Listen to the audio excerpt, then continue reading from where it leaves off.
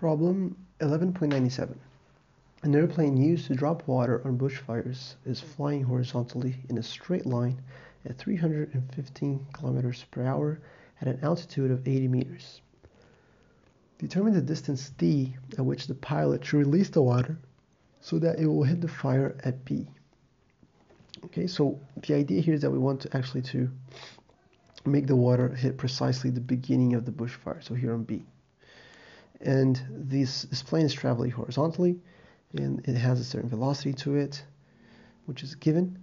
And it's whatever water it's carrying obviously is traveling at the same speed as a plane right? Now the trick here is that we're not really interested in the plane. We're just in the water. So we can forget the plane just think about what's going on with the water okay? In terms of statement important things are here. It's flying horizontally Okay, so and it's in a straight line. So pretty much what this is saying, it's not going up or down. So if it's not going up or down, it's just traveling horizontally, the velocity that's been given to us has nothing to do with the y direction, right? It's only for the x direction. And the way we're going to solve this is precisely separating the y and the x direction. Because when the water leaves, the only force acting on it will be the gravity, right? Will be gravity. And we know there will be acceleration due to gravity. So when it leaves the plane, it's going to take, it's going to go out from rest because it's flying in a straight line. It's there's no velocity on the y direction when we first start the problem, and then it's going to leave, accelerate, and eventually it's going to hit the ground. Okay, what about the x direction? Well, the x direction is going to be going horizontally, and it will fly for as long as it can, right? There's no forces trying to stop it from going horizontally. So it's going to keep going horizontally all the way until it reaches the ground, and then the friction of the ground makes it stop. So our idea here is to decompose these two forces, so uh, these two vectors, I should say. One vector is this y vector here from when it uh, is released to when it reaches the uh, the ground. The other one is the x1 that's going on this direction. And if we combine the two vectors, we're going to end up in the beginning of the bushfire. That's the idea. Okay, so let's forget the plane for a bit and just think about the water. So just doing the water as my control volume.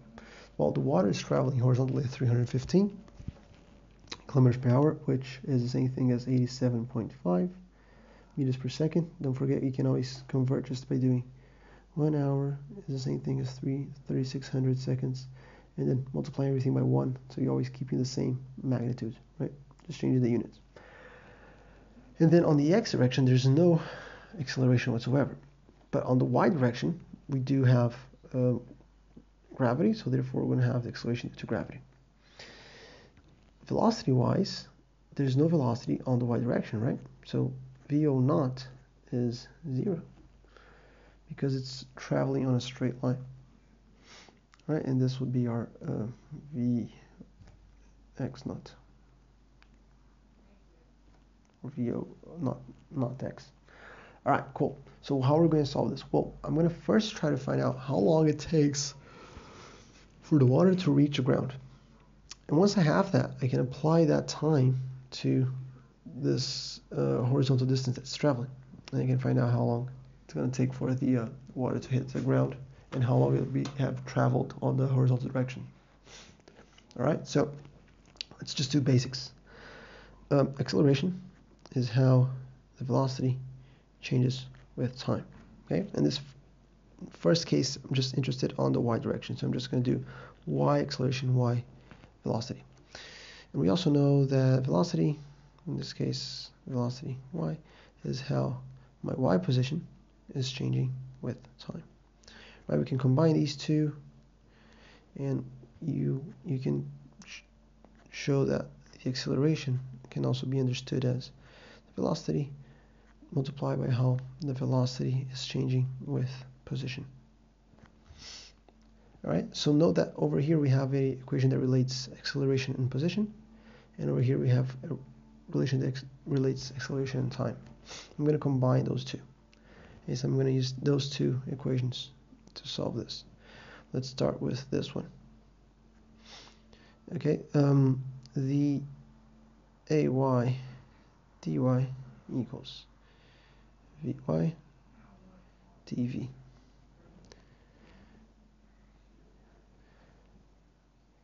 From where to where? Well, from the y, I want from where the plane is to all the way until it hits the ground. Okay, so that's going to be the full height, the 80 meters in this case. And over here, so I can actually do from 0 to 80 if I want to. Um, let's do that from 0 to 80.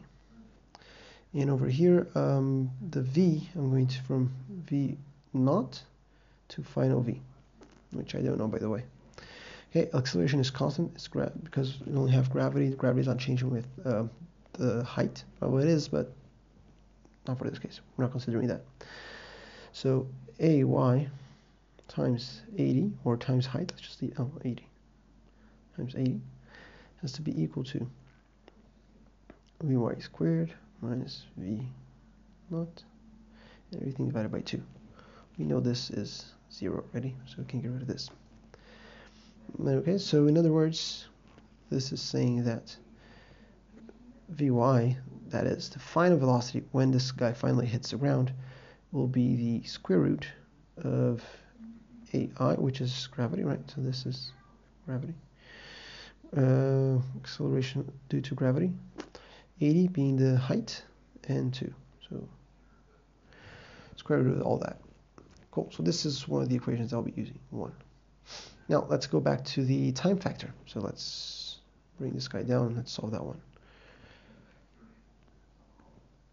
Cool. And this one is saying that um, the acceleration in the y direction is just how the velocity in the y direction is changing with time. So therefore, probably then this on the bottom line. So let's go down, down here.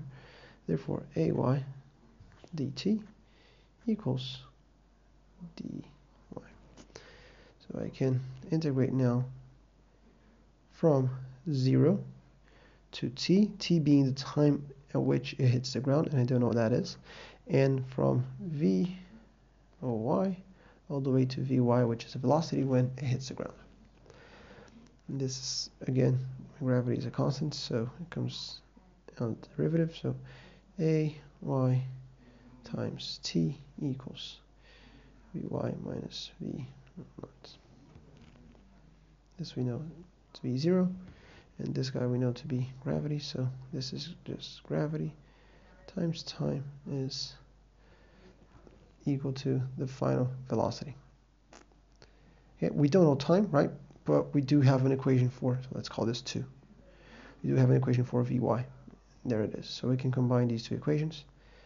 And this means that gravity times time equals the square root of 2 times 80 times, uh, what was it, last term?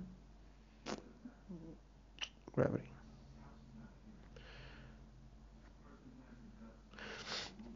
Okay, so that means, therefore, time is just 280 gravity, square root, everything divided by gravity.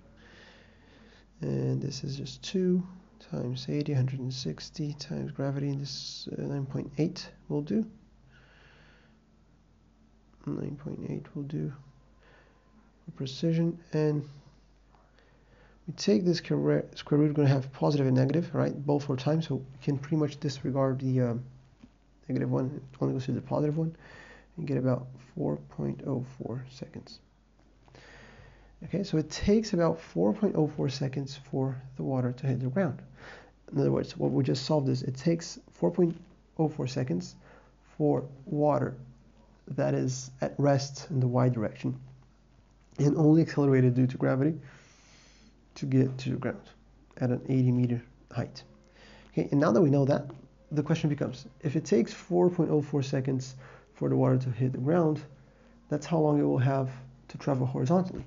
And horizontally, and horizontally we know, horizontally we know that my velocity x is just how the x is changing with dt. And so vx dt equals dx. And over here I can integrate. Once again, I want to go from when it leaves, so 0, all the way to 4.04, which is when it hits the ground. And over here, I want to go from x naught to x.